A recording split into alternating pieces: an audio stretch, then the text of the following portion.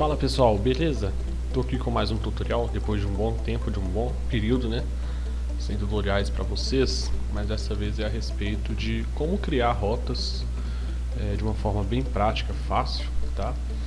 Para o Microsoft Train Simulator, né? O famoso MSTS e também para o Open Rails.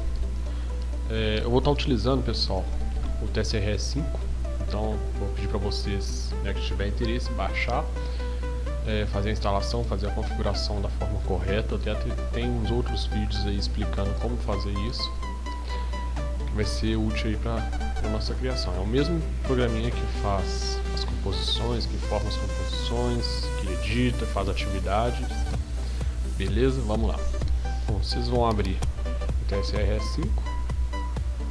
É, lembrando que o TSR já tem que estar configurado corretamente e desbloqueado no Windows também para funcionar tudo certinho.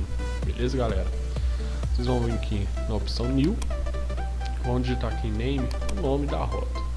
Aqui eu aconselho colocar um nome bem abreviado, tá? Que é só o nome de... É, como se fosse o nome oficial da rota, né? Mas é uma coisa bem, bem é, que vai dar o nome só o nome da pasta mesmo da rota, o nome dos arquivos da rota. Então vamos colocar aqui só como teste, né? Beleza, latitude e longitude não precisa mexer.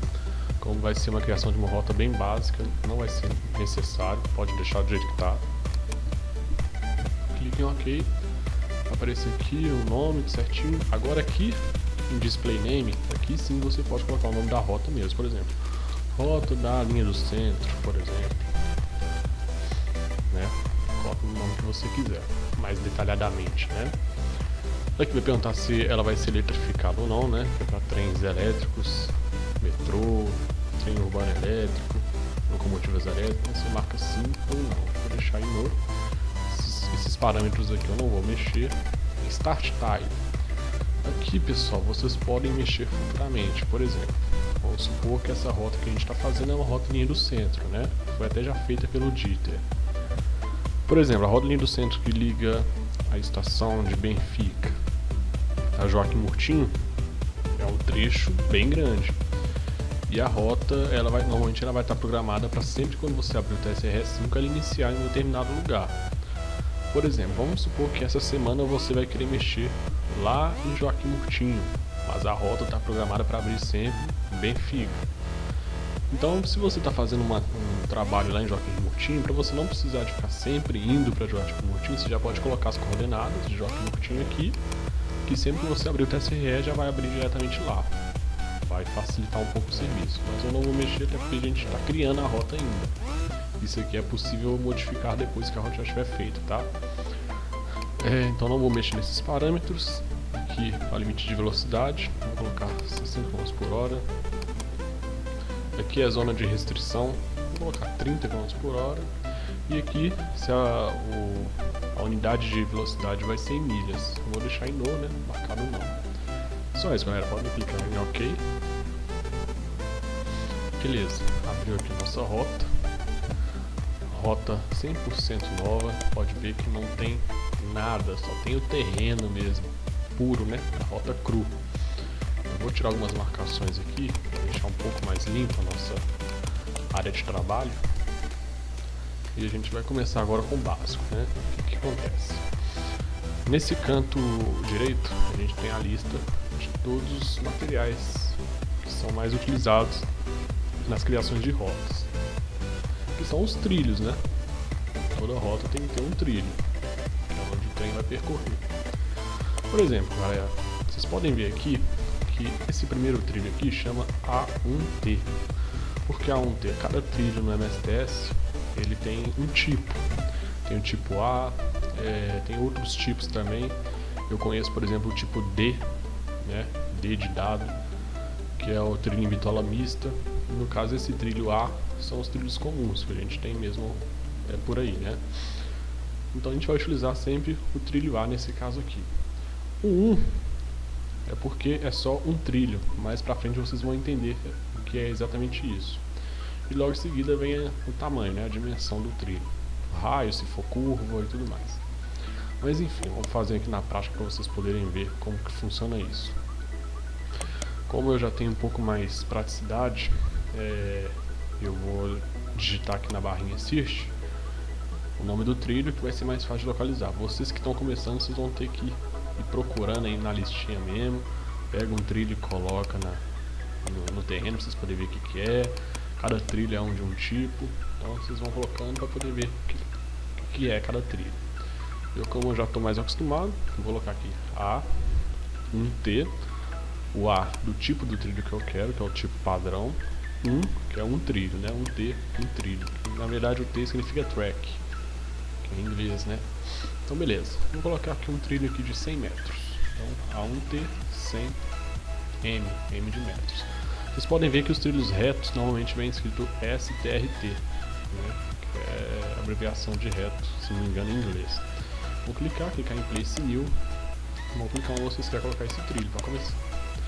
Tá vendo que ele começou a abrir aqui pelo lado? Se eu quiser mudar o sentido dele, eu posso clicar aqui em Hot Y90, né? Ou então simplesmente posso apertar a tecla R, opa, a tecla R e ir girando com, com o mouse. Mas vamos deixar aqui nessa posição mesmo.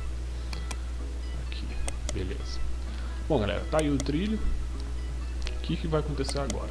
O jeito que o trilho tá aqui, ele ainda não está ativado. Ele está como se fosse um, um, objeto de cenário somente, um trilho abandonado, sem uso. Se você for lá no, no, no, simulador, você não vai conseguir passar nenhum trem aqui. Você tem que ativar ele. Para ativar, você vai apertar a tecla Z que vai aparecer essa linha amarela, essa linha cinza, que chama Database. Ou seja, esse trilho aqui está ativado e está disponível para poder passar os trens aqui em cima, agora sim. Você vai colocar mais um trilho de 100 metros, vem em Place New, clica aqui em 100, vai no final do trilho, opa, pera aí, deixa eu só consertar esse aqui. Eita, mas... Deixa eu apagar isso aqui e fazer de novo. Vamos lá de novo, porque deu algum desencontro ali. Aí beleza, aperta a tecla Z. Tiver, aperta de novo, tecla Z novamente. Pronto. E assim vai interligando os trilhos, de acordo com a sua preferência. Mas no caso vou colocar só dois trilhos de 100 metros. E vamos abrir um pátio para vocês poderem ver como é que funciona. O que acontece? Os trilhos que são desvios, né? São ANVs, chaves, normalmente são chamados de A1T PNT. Aí você vai ter diversos trilhos aqui que são chaves. Tem um aqui, tem um outro aqui, são vários. Aí é de acordo com as preferências, tá vendo? Colocar um T PNT 10. Left, né? Que é para a esquerda, eu quero abrir um trilho para minha esquerda. Beleza, aperta a tecla Z fez o trilho aí. Agora, galera, o que, que eu vou fazer? Eu vou pegar um outro trilho aqui também que eu uso bastante, que é o para acertar essa segunda linha aqui, ela ficar alinhada, que ela não está alinhada. Se vocês puderem ver, vocês vão ver que ela vai abrindo mais torta, tá vendo? Uma para cada lado. Então, para alinhar, né, que é mais utilizado em pátio, você vai pegar PNT, nesse caso aqui, deixa eu ver se é esse aqui. Isso. Outro detalhe é esse também, galera. Vocês colocar um trilho, ele abrir para um lado que você não quer, você vai apertar a tecla X, que ele vai direcionar para o outro lado. Aperta a tecla Z para ativar, nunca pode esquecer desse detalhe. Agora eu vou colocar um, um outro trilho menorzinho aqui, de 20 metros. 20 metros. Só para alinhar. Agora sim estamos alinhados. Aí galera, se vocês querem continuar é, é, né, esticando o pátio aí pela frente, em vez de vocês colocar aqui no A1T 100 metros para cá e 100 metros para cá, vocês podem utilizar o outro método, que é o que eu falei no início. Em vez de ser A1T, agora vai ser A2T, que são dois trilhos. A2T 100 metros. Vocês vêm, podem clicar em qualquer um dos trilhos né? Caso aconteça isso, só apertar a tecla X uma vez, duas vezes que ele vai mudar. Aperta a tecla Z e pronto. Fez mais um. Quer fazer mais um, colocar mais um trilho aqui? Mesma coisa. X. Isso. E agora Eu vou fechar o pátio para mostrar para vocês. Vamos voltar lá na A1T NT10, né, que no caso é, se não me engano, é o raio, o diâmetro da chave que eu estou fazendo. Agora vai ser essa aqui. Não, não é essa aqui. É, pera aí, pera aí. End 10 white. Direita. A gente pode mudar aqui também. Beleza, já estamos fechando. Agora nós vamos pegar a chave. Que no caso vai ser a 10 de novo. Direita. A gente coloca aqui, vai apertar a tecla X até mudar. Beleza.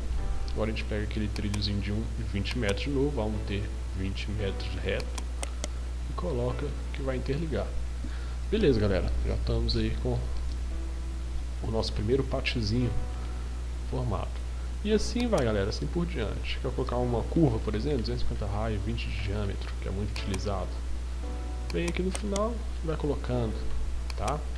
E é sempre assim. Se você quiser também, às vezes, você igual aqui. Nesse caso você pode ver que o trilho está nivelado. É, vou mudar esse parâmetro aqui. A gente sempre aconselha mudar, colocar em percent, tá vendo? Vale, você coloca em percent. Aí a porcentagem aqui, ou seja, está em zero, ou seja, o trilho aqui está todo nivelado, não tem subida nem descida. Se você quiser colocar uma subida, você vem, coloca o trilho, né, normal. Aí você pode colocar aqui a porcentagem da subida, 2, 5, 10, 20, virando uma escada, né, praticamente. Mas é, é, isso aí. Vou colocar aqui 5% só para vocês poderem ver a diferença. Apertar a tecla Z para ativar o trilho. E como, como é que vai fazer para não ficar esse trilho suspenso no meio do nada? Vocês podem simplesmente clicar no trilho e apertar a tecla F, que vai alinhar o terreno, tá vendo? Tá, deixa eu colocar aqui tipo, Aí. Podem ver que o, o, o terreno ele vai acompanhando o trilho. Da mesma forma com as descidas. Por exemplo, quero descer, colocar um outro trilho e descer. Menos 5. Você vai colocar sempre em negativo no caso. Né? Deixa eu colocar aqui. Aí, beleza. Aperta a tecla Z. Agora está descendo de novo. Clica no trilho e aperta a tecla F. E assim a gente vai fazendo todo o nosso trabalho. Beleza, galera? É bem simples, tá? não tem muito segredo. A construção né, da, da rota das linhas é só isso mesmo.